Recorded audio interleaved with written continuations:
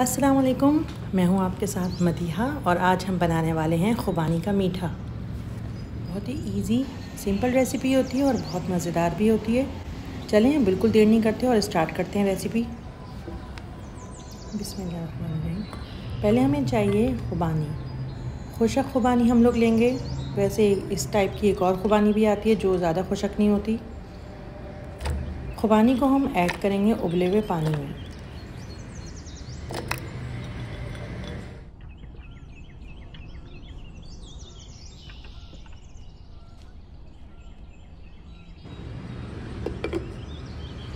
जब पानी room temperature पे आ जाए तो इसको फ्रिज में रख देगा ओवरनाइट के लिए।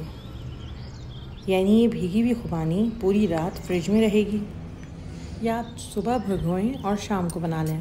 अब हम इसमें से इसकी गुटली निकाल देंगे और गुटलियों को फेंकेंगे नहीं, उसका भी हम इस्तेमाल करेंगे।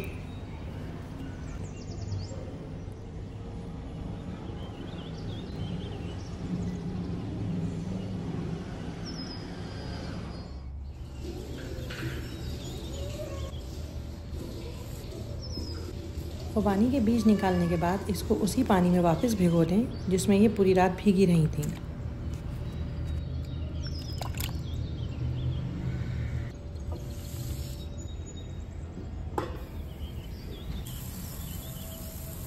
अब हम खुबानी को पकाएँगे, इसमें चीनी ऐड करेंगे, ढक देंगे और पकने देंगे, जब तक खुबानी का पानी खुशक ना हो जाए।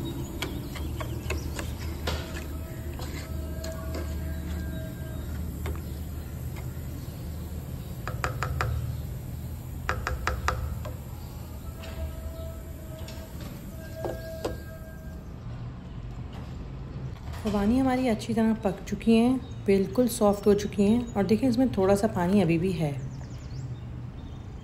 अब हम इसको चूल्हे से उतारेंगे और ठंडा कर लेंगे। मतलब इसको रूम टेम्परेचर पे आने देंगे। रूम टेम्परेचर पे आने के बाद हम इसको ग्राइंड कर लेंगे। आप इसको गर्म भी ग्राइंड कर सकती हैं। बिल्कुल स्मूथ सी पेस्ट बन गई हमारी। अब हम इसको एक साइड पे रख देंगे। खुबानी का मीठा मैंने पहली बार हैदराबादी फैमिली के यहाँ खाया था और मुझे बहुत पसंद आया था। जहाँ तक मेरी नॉलेज है, ये है भी हैदराबादी डिश अगर आप जानते हैं कि ये स्पेशल कहाँ की डिश है तो ज़रूर बताइएगा। अब हम लेंगे दूध। दूध को हम उबाल लेंगे। हम इसमें चीनी ऐड करेंगे और हम चीनी ज़्यादा ऐड नहीं करेंगे। क्योंकि खुबानी में पहले ही हम मीठा ऐड कर चुके हैं। इसका मज़ा तभी है कि एक चीज़ में ज़्यादा मीठा हो और एक चीज़ में कम मीठा हो।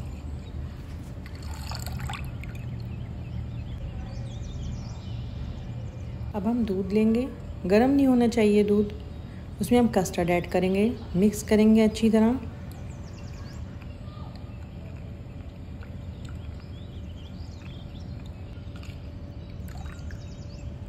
कस्टर्ड को दूध में ऐड करते हुए चमचा चलाती रहिएगा, ताकि कोई गुटली ना बने।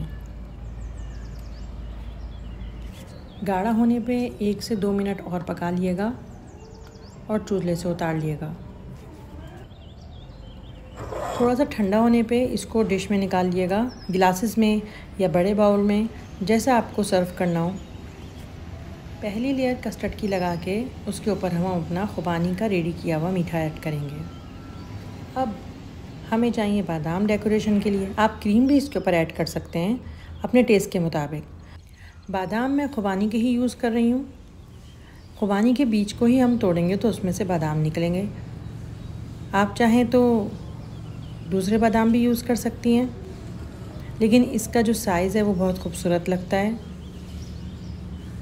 ठंडा करें या गरम, मेहमानों को सर्व करें, उनको ज़रूर पसंद आएगा। मैं गरम खा रही हूँ क्योंकि मेरे घर में सभी को तकरीबन गरम कस्टर्ड पसंद है।